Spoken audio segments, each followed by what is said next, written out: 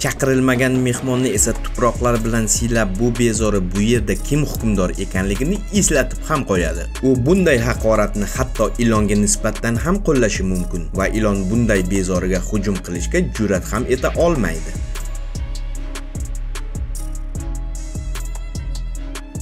Lekin bo'rsiq kim bilandir do'stlashishi mumkin bo'lsa unda u kayyotdir ba'zan kayyot do'stinikiga mehmonga keladi va birgalikda yumron qoziqni ovlashga chiqishadi.